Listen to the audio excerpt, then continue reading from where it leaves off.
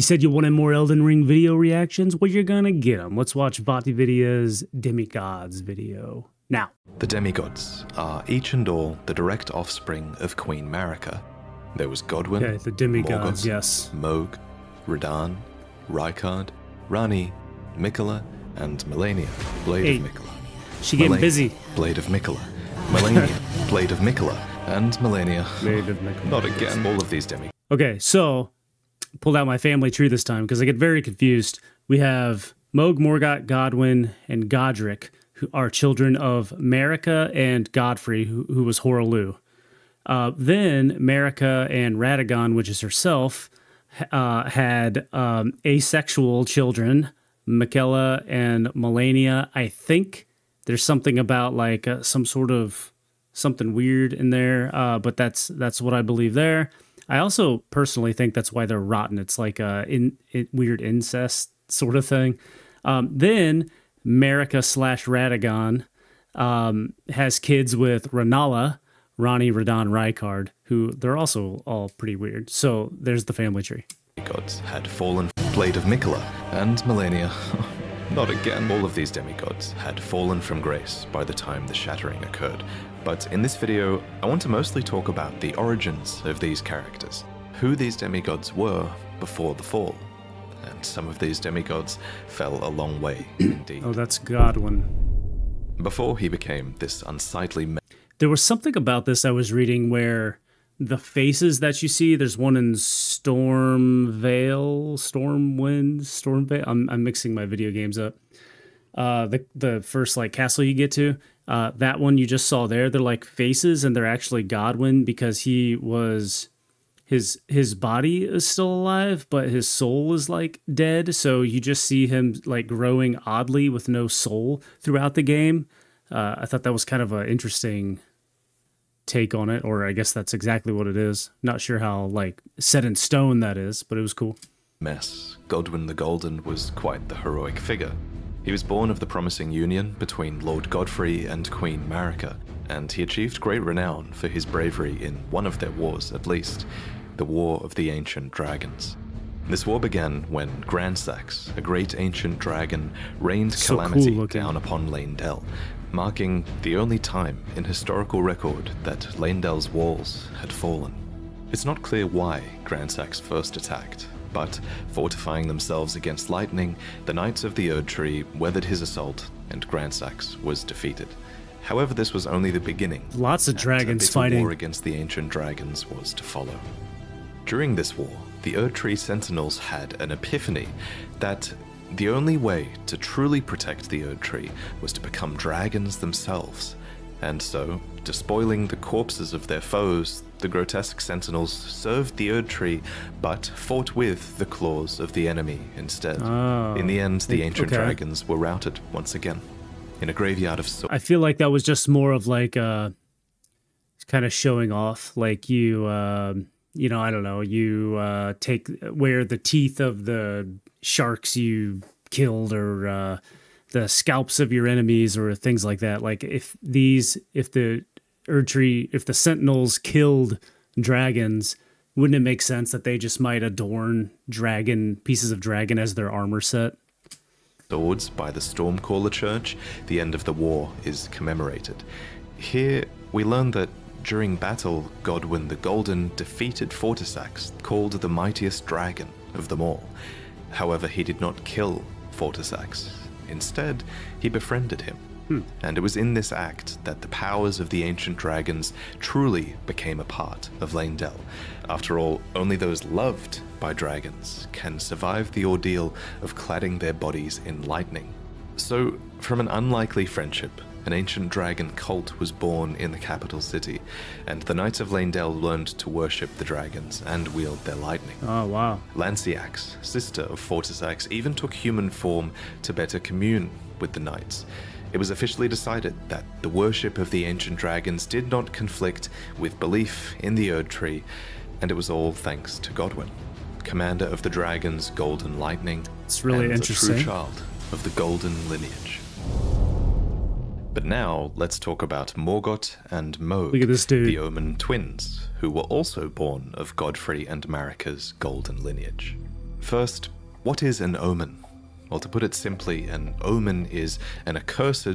Real quick, I'm about to perpetually get Godwyn and Godrick mixed up. Godwyn's dead. Godrick. Oh, okay, okay. Is Godwick actually the child of Godwyn? I don't know if that's actually a trigger. One, two, three, four, five, six, seven, eight, nine. I think it is.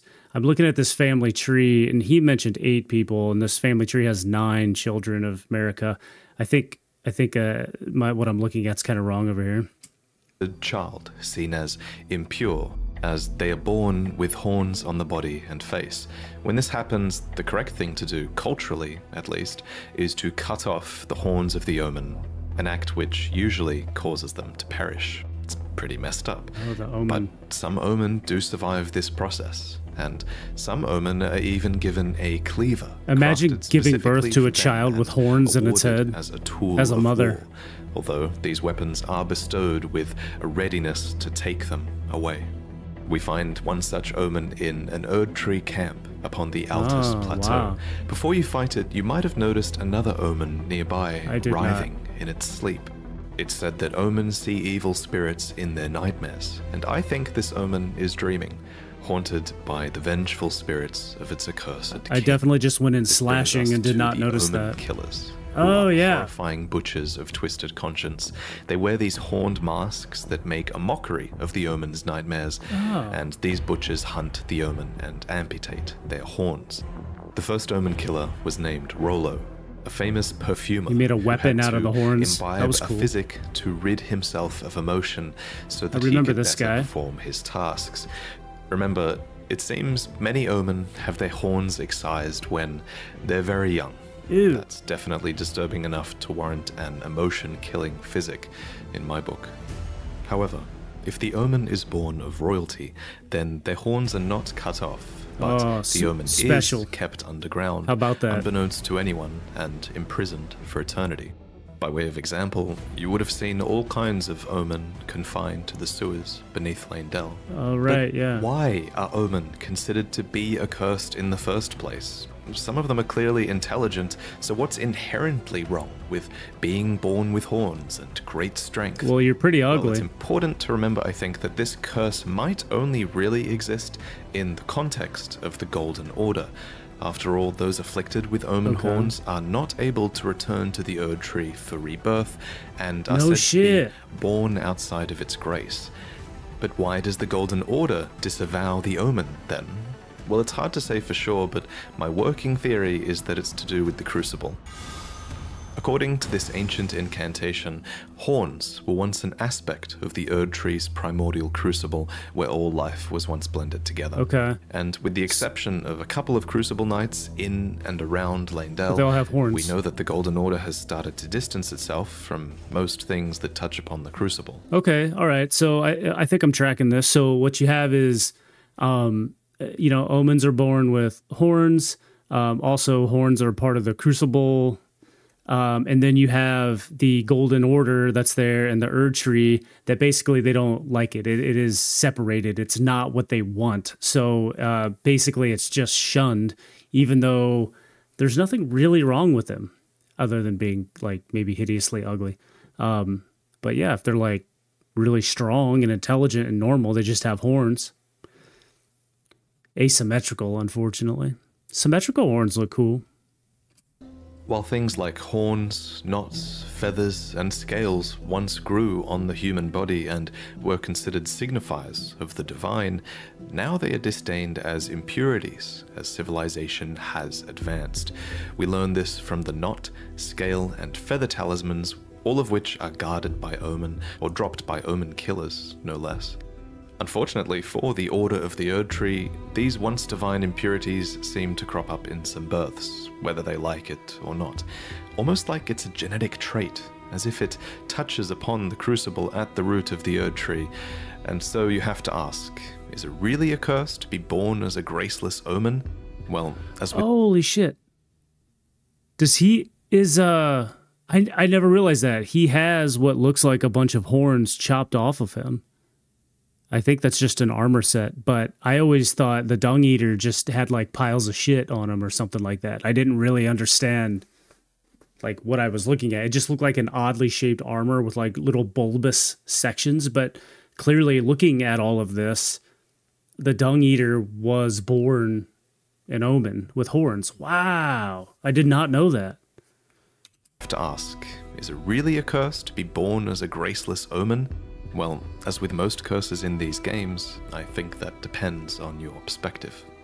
In any case, Mohg and Morgott were omen royalty, and thus they were born into a wretched mire far below the earth, horns and all. Here they were kept under the strictest confinement. Each of them were bound with charmed shackles that were covered in roots or thorns and bathed in golden magic. It seems very few people were supposed to know that they even existed. Morgott, for his part, renounced and despised his accursed omen blood, but his brother Mohg embraced it. Deep underground, Mohg stood before an outer god, His horns a being called the cool. Formless He has a Mother, who craves beard. wounds, a being capable of bestowing power upon accursed blood. In this moment, Mohg's accursed blood erupted with fire, and he became besotted with the defilement that he was born into. Here, deep below the earth, he would go on to build a dynasty of blood in reverence of a mother. Something it seems he never truly had. As for Morgott, he was born into the same accursed fate as his twin brother, but despite not being blessed with grace, he loved the Erd Tree all the same, and I even took it upon himself to crawl out of the sewers and become the Erd Tree's protector when the Erd Tree needed him most. In the end, he rightfully became the Omen King and Lord of Leyndell. Good for him. Or not, he was, after all, That's a that's pretty cool. He just kind of like the um you know, shunned to the sewers like all the rest of the omens and then he's like, No, I love the Erd tree, I love my mother, I guess, and kind of rises up so far as to actually become a king. It's pretty cool. all born of Godfrey and Marika's golden lineage. Of course, the marriage between Godfrey and Marika would be ended, and before long, Marika remarried with another man, a champion named Radagon, who Marika calls her other half. He became second Elden Lord and the king consort, but he also brought with him three children from a previous marriage that he had had with a Carian queen named Rennala. These children were Ranni, Rykard, and Radahn, and they all became demigod stepchildren after Radagon's union, reunion with Queen Marika. Mm-hmm. Possessed of his father's flaming red hair, Radahn was fond of its heroic implications and considered himself to be born of a great champion. Yet he I'd also say he looked up was. to another man, Look at him go. Godfrey, the first Elden Lord, Queen Marika's first husband and the Lord of the Battlefield. But Radahn wasn't just the son of Radagon and an aspiring Lord of the Battlefield, he was also the son of Rennala, who was head of the Academy of Raya Lucaria and Queen of Caria, I've always felt like her head is way too small for her body. Am I alone with this? Like look how big her hands are compared to her head. She looks really weird. So, as a Carian royal, inclined towards sorcery, Radahn bent his will towards mastering gravitation. They, they these guys all got these big head masks because of her. She just is so ashamed of her own head that she forced everybody to have big head masks. Working theory. Royal, inclined towards sorcery, Radahn bent his will towards mastering gravitational magics. Rock sling, gravity well, collapsing stars. These techniques were taught to him in Sellia, the town of sorcery, all so he would never have to abandon his beloved but scrawny steed. That said, before long, his powers would be put towards a more cosmic purpose than simply allowing him to ride Your boy Leonard. horse. Radahn was taught gravitational magic by an alabaster lord, a member of a race of ancients with skin of stone who was said to have risen to life when a meteor struck long ago. And when his lessons were complete, Radahn uttered these chilling words. Thank you for your tutelage. For now, I can challenge the stars. And of course, he did conquer the stars. That's right. And the very constellations would be halted by his strength. But of course, you kind of have to ask Could you imagine the power to like it's kind of it's kind of a cool story, right? Like, oh, I've I've mastered the stars or whatever, but um it's it's very much a a, a tale of fiction, right? Like you can't ma- you can't like challenge the stars. Oh, well, let me rephrase this. the stars are not close by. You can't like stop the universe. Or, I, I guess to put it in perspective of the game, imagine the power he needs to actually halt the movement of, say, the universe or the planet spinning or the rotation around whatever star you're rotating around to harness the stars is um, probably pretty damn incredible. The very constellations would be halted by his strength. But of course, you kind of have to ask why? Why was it necessary to conquer the stars in the first place? Well, I have a couple of theories. Theory one is that it was done in self defense. After all, according to the sword gravestone, Radahn was protecting Sellia. What's more, gravitational magic has destructive power, and many gravitational beasts are proof of that destructive power. A being named Astel had even come down to the lands between in the past and destroyed a place called the Eternal City. What's more, Sellians are descendants of the Eternal, positioned right above the Eternal City underground, so there is an argument to be made for Radahn purely defending Sellia for some reason here. But it's possible for Radahn to have fought in this conflict and to have made the first move as well. So this is theory two, that Radahn conquered the stars as a preventative measure in service to the greater will. According to a set of astrologer items, I don't think I the followed that. cradles fate.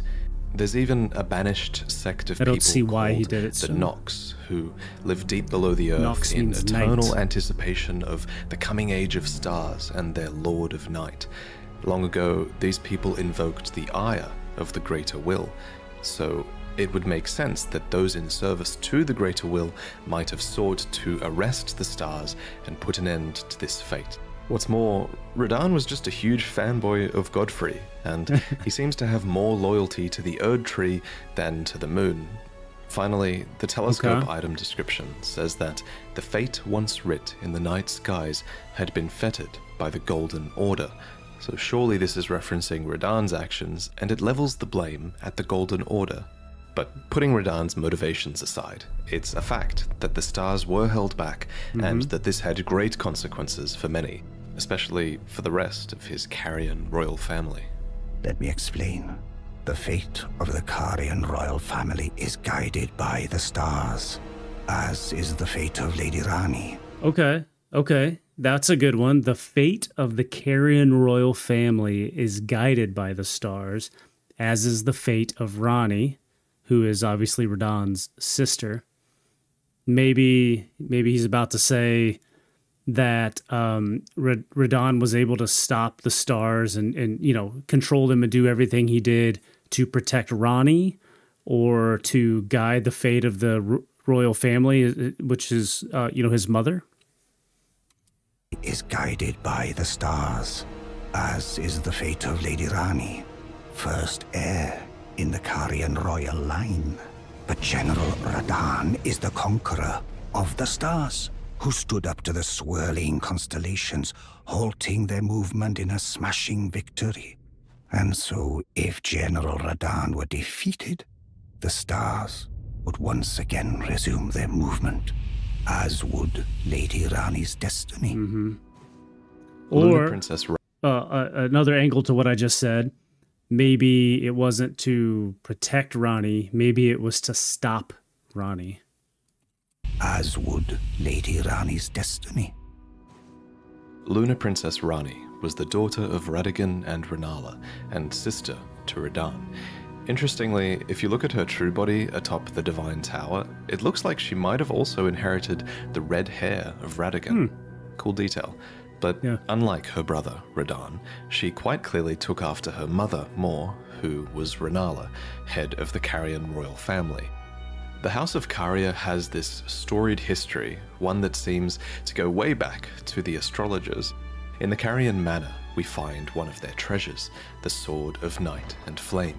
It reads Astrologers who preceded the sorcerers established themselves in mountaintops that nearly touched the sky and considered the fire giants their neighbors. Rennala herself was an astrologer, always chasing the stars hmm. in her youth. Then she met the full moon, and in time, the astrologer became a queen, establishing the House of Caria as royalty. Lucaria appears to have a matriarchal hierarchy with multiple princesses and Carian knights that serve as their retainers. Now, however, there is only one princess, Ranni, daughter of Rennala. And at the time of her birth, she would have been set to inherit quite a lot of power indeed. Yeah. For the Carian royal family was at its height, and her mother was not only queen, she was also head of the Academy of Raya Lucaria, having bewitched them with the enchanting power of the full moon. you know that i mean maybe that's cool she's going to inherit obviously the whole carian royal family the power over the family and the um the school but um she's also kind of inheriting a pile of shit because what we know from the lore is that um there it's full of conflict um civil war even rennala gets with radagon and messes that up. Over the years they are everything about this place is kind of a mess. Um and ranni does seem to be oh i don't know like that uh like a uh, an independent uh adversarial child right? Like the uh she doesn't want to doesn't seem to want to do exactly what everybody does other than the magic she's kind of like on her own program in my opinion i don't know she's probably got like lots of tattoos i'm guessing Lucaria, having bewitched them with the enchanting power of the full moon. Leading the young Ranni by the hand, Rennala guided her daughter to a meeting with a moon of her own. What Ranni beheld was cold, dark, and veiled in occult mystery. A dark moon, a sort of twin to Rennala's own full moon. You can even see both of these hanging in the sky if you hmm. stargaze from the heights of the Moonlight Plateau. Another who guided Ranni was a character called the Snowy Crone, who the young Ranni encountered deep in the woods. When you look at Ranni, it's actually the likeness of this snow witch Oh, that you're seeing, as Yes. the doll that now houses Ranni's soul was modeled after her, probably as a sign of respect. Clearly, Ranni looked up to this mysterious woman. She became Ranni's secret mentor, and she even knew about the Dark Moon, teaching the young Ranni to fear it as she imparted her cold sorceries.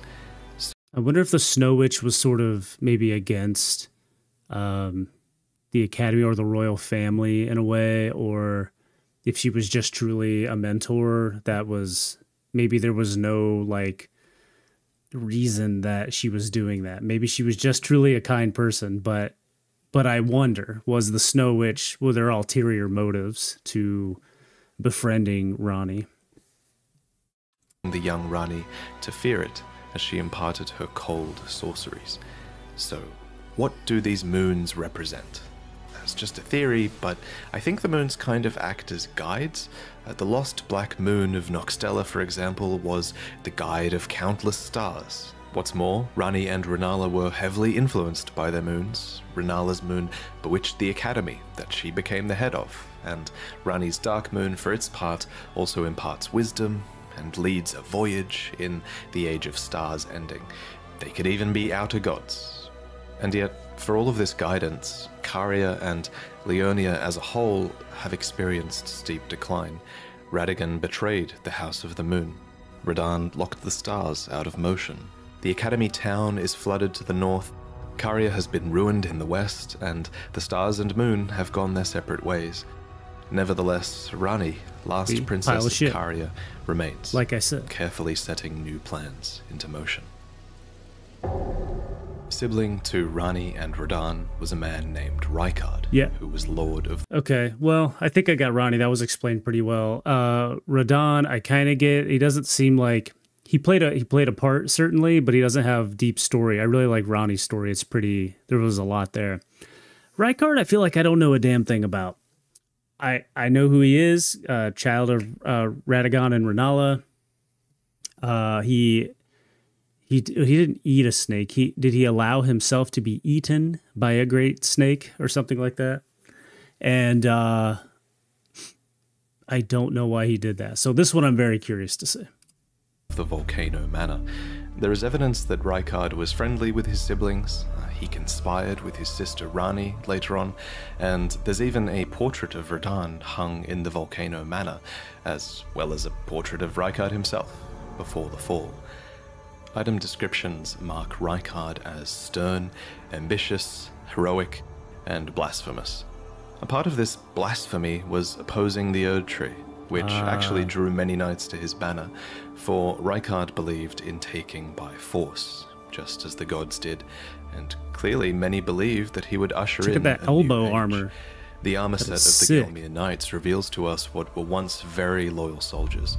The crest of red feathers are there to symbolize Rykard's pedigree as Lord Radagon's son, and the emblem upon their chest piece represents a lord who had lofty ambitions.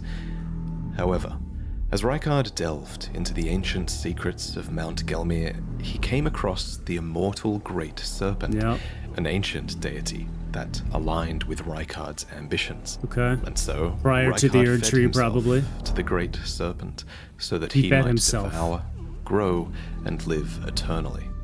Alas, this was too much for his knights, and they believed that their master's heroic ambitions had degenerated into mere greed.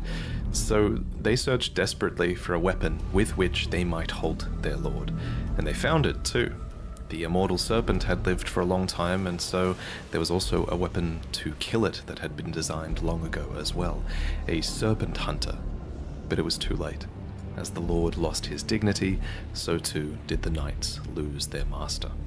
Not that it bothered Rykard. Now we can devour God together. Oh, I said forever earlier. Next, Just we need to discuss Malenia Oh, well. and Miquella.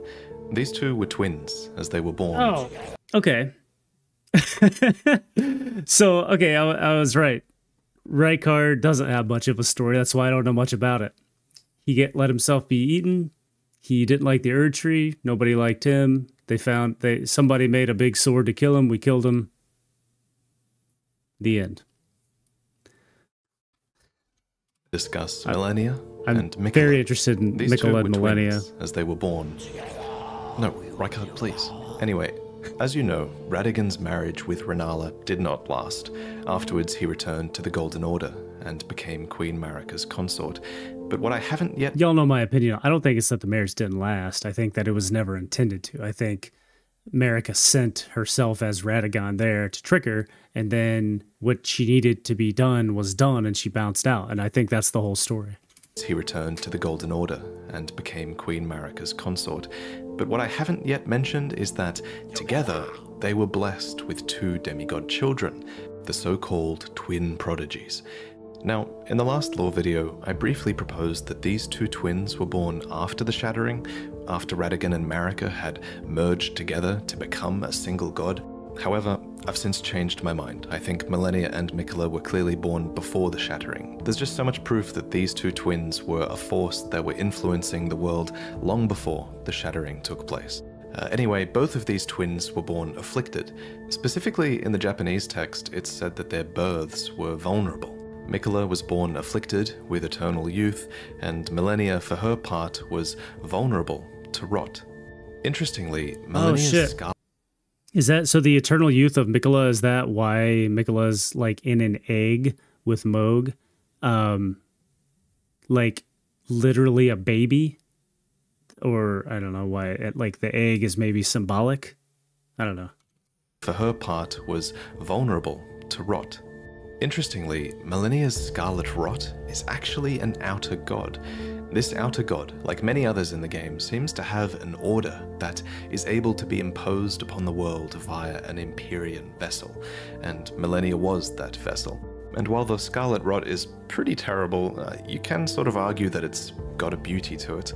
Um, according to Gowry, the Order of Rot is resplendent. I hear it. it's a cycle of death. Don't know if I agree. Kind We've of like been the to lotus flower, which is a flower that blooms anew, beautiful and fresh from mud. I actually have art of this flower hanging in my home. I always love the symbol of it. I actually have lots of art hanging now, and I'm going to talk about all of this artwork that you can buy at the end of the video. Anyway, so Malenia the Empyrean was vulnerable to and afflicted by the Scarlet Rot. There was said to be no cure to this, and while fire and consecration seemed to be somewhat effective at warding it off, Malenia would slowly lose her physical self to the rot. Interestingly, old She's so legends hard, of the Scarlet Rot have persisted in the world for generations, and we learn more about the Rot God from the Blue Dancer charm. The dancer in blue represents a fairy who, in legend, bestowed a flowing sword upon a blind swordsman. Blade in hand, the swordsman sealed away an ancient god, a god that was rot itself. Hmm. Specifically, this god was long ago sealed away in the stagnant water that is downstream of the Ainsel River underground. And wherever rot appears, the kindred of rot appear as well. These are pests and servants of the rot. Now, in the current age, these are servants that have been forsaken by Malenia. Who's the god? Is their new goddess. So, this blind swordsman with the flowing curved sword actually went I on hate to become things. Malenia's mentor. I died a lot So, them. technically, it's him that we have to blame for this goddamn attack. the Prosthesis wearer heirloom tells us more. A talisman engraved with a scene from a heroic tale. Though born into the accursed rot, when the young girl encountered her mentor and his flowing blade, she gained wings of unparalleled strength. Malenia's ridiculous attack is called the waterfowl dance, and aesthetically it makes sense that, you know, flowing Looks waters cool. would counter the effects of rot. For oh. just as still waters turn foul, stagnation turns to decay. Thus, warriors must remain ever drifting. And indeed, Malenia does resist the call of the rot. It was kinda- There's a lot of evidence that she's not really secretly a beautiful. vessel. But through sheer will and sense of self, she resists the rot. And only when she is truly pressed in battle will she abandon so this cool. will and bloom into the goddess within. Malenia's first bloom was during her fight against Radahn, and releasing her scarlet rot was a last ditch effort that would forever taint the land of Caelid and cripple Radahn. So, whatever she was fighting for in this fight against Radahn, somehow it was worth this terrible act. In general terms, at least, it's clear that Malenia was fighting for her brother. I'm not Apart following from the times where she relapses into being the goddess of rot, I she is known as the Blade of Miquella. Yeah. She actually goes to great lengths to tell you this. I don't know if you heard. Uh, despite being Yeah, I the toughest heard. boss in From Software history, she's actually fighting for his right to godhood, not her own. In Malenia's own words, her brother Miquella possesses the wisdom, the allure of a god. He is the most fearsome Empyrean of all. For his part, Miquella did a lot to earn his sister's dedication, not the least of which was inspiring her armor and a prosthetic of unalloyed gold. Do you think Miquella has some like specific power or something that she is just trying to like push? Like she thinks it's the proper way or he's the firstborn or whatever like that? Or do you think she just like loves her brother and that's it? It's just like a, a love. She's like, I'm the blade of Miquella. I'm going to protect him and do everything I can as she powers through for family. That'd be kind of like a, I don't know, kind of like a beautiful story. the least of which was inspiring her armor and a prosthetic of unalloyed gold. It's not just his sister that loved Miquella, many people did. The Bewitching Branch is an item that you can use to turn enemies into temporary allies, and it reads Indeed, he has learned very well how to compel such affection. For his father Radagon, Miquella fashioned and gifted to him a fundamentalist incantation called Triple Rings of Light. Radagon then returns the favor, gifting back an incantation called Radagon's Rings of Light. These interactions show some of Miquella's positive connections with his father and also Golden Order fundamentalism. And yet, the young Miquella abandoned fundamentalism, for it could do nothing to treat Malenia's accursed rot. This was the beginning hmm. of unalloyed gold. So, what is unalloyed gold? Well, an alloy is a composition of metals, so unalloyed gold is pure gold, essentially, with no external mixtures. So pure gold stops This rot. Gold apparently can ward away the meddling of outer gods, and so Miquella bent a lot of his efforts towards creating an unalloyed gold needle. Specifically, this needle was crafted for his sister right. to ward off the rot god and forestall the effects of the incurable rotting sickness. We see the bond between the siblings as well when we visit Miquella's Halig tree. We see a statue of a one-armed woman embracing Oh, that's her. child, Miquella. In this place, we see the biggest example of Miquella's benevolence, the Halig tree. And the society that was built into the brace that supports it. This was a promised land, seen as a salvation to many who were shunned or persecuted, provided that they can actually find the path here, of oh, course. Wow. So, um, Miquella is more than just a brother, maybe an actual, like, shining light to people, someone that would help others. Um, as he just mentioned, there's a whole city built into the base of the tree that is uh, a place where people feel like they can go. So uh, Miquella is maybe kind of a benevolent demigod. And like many other Empyreans, Miquella seems to have had the will within them to create a new order, and his is an order that's somewhat modelled on the ones that came before it. The biggest thing is that the Halig tree is clearly inspired by the Erd tree, Mm-hmm. but the difference is that Miquella's Halig tree is said to be accepting of all, Yeah. even those the Erd tree shuns. Miquella himself was once embedded inside of the Halig tree, and he watered it with his very own blood since it was a mere sapling.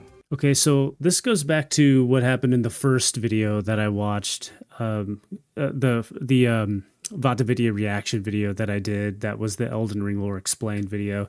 There was a part in there where I was wondering why Marika has children at all, because it doesn't seem to make any sense. And then I had some hypothesis about um, even though she is chosen to be the god or the Empyrean um, but that she's still a human or a, a Numen uh, in in the lands between anyway, and maybe has those desires to have children and do things and be good. But so she ends up being this Empyrean to the greater will, creating the Erd tree, but then having children, and one of those children um, goes on to create the Halig tree in opposition to the Erd tree, and is protected by the other sister um, none of that seems like something the the greater will would want.